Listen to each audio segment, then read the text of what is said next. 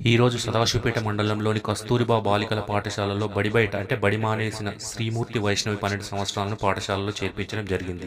జరాసంగ్యం మండలంలోని ఈదులపల్లి గ్రామానికి చెందిన బాలిక తల్లిదండ్రులు సంగారెడ్డిలో కూలి పనులకు వచ్చి ఇక్కడే స్థిరపడ్డారు వారితో పాటు వారి పన్నెండు సంవత్సరాల బాలిక కూడా ఇక్కడే వచ్చి ఏడవ ఏడవ తరగతి చదువుతూ బడి మానేసి ఇంటి వద్దనే ఉంది ఈ విషయాన్ని నిజాంపూర్ పాఠశాల ఉపాధ్యాయుడు సంగమేశ్వర్ మండల విద్యాధికారి డి. అంజయ్యకు సమాచారం తెలపడం జరిగింది.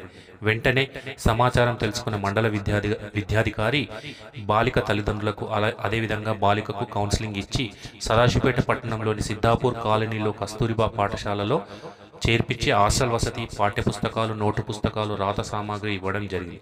ఈ కార్యక్రమంలో పాఠశాల ప్రత్యేక అధికారి లలిత ఉపాధ్యాయులు సిఆర్పి రాజేశ్వర్ పాల్గొన్నారు. మండల విద్యాధికారి డి అంజయ్య సదాశివపేట్ తర్వాత డిఎస్సి రాయాలి అట్లా మంచి ర్యాంక్ తెచ్చుకుంటే అప్పుడు టీచర్ అయ్యి అంత కష్టపడతాము. లేకుంటే మధ్యన పదో తరగతి అందరూ మానేస్తాం చదువుతావు? All the best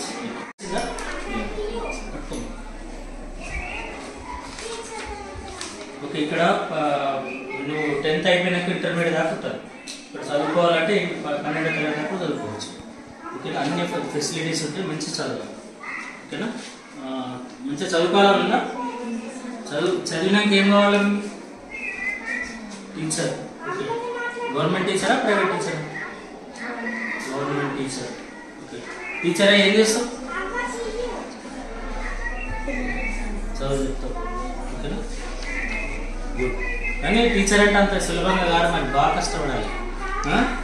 degree pass కావాలి బీఏ చేయాలి ట్రైనింగ్ అయినాక మళ్ళీ టెట్ రాయాలి టెట్ పాస్ కావాలి తర్వాత డిఎస్సి రాయాలి అట్లా మంచి ర్యాంక్ తెచ్చుకుంటే అప్పుడు టీచర్ అయ్యి అంత కష్టపడతాము లేకుంటే మధ్యన పదో తరగతి అందరూ మానేస్తాం చదువుతావు?